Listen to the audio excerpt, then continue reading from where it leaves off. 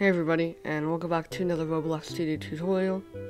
And today I'm going to be teaching you how to turn on Team Create. So here I've got my Roblox game, which is just a pre-built castle. So now, let's say I want, like, my friend to come in the game and help me out with developing. So what you're going to do is you're going to turn on Team Create.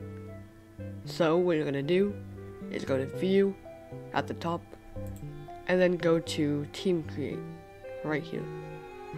Then click it, and you're gonna publish your game. Make sure your game's published. Okay, so now that I've published my game, I can just turn on Team Create. And after a few seconds, Team Create should turn on.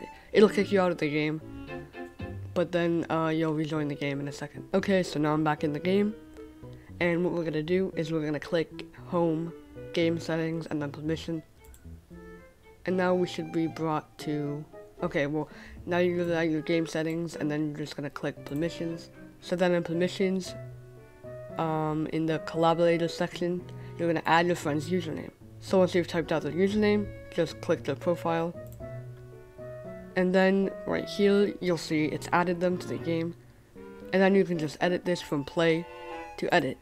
So now they can like uh, make your game with you then click save, and you should be done. Okay, so my friend just joined the game, and for your friend side to join the game, what you're gonna do is, like, um, on your friend side, when they go to the Roblox Studio menu, you should, okay, when you go to, when you go to the Roblox Studio, oh my god,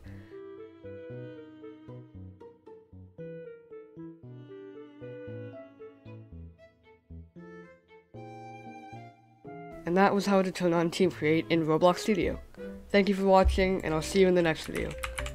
Bye!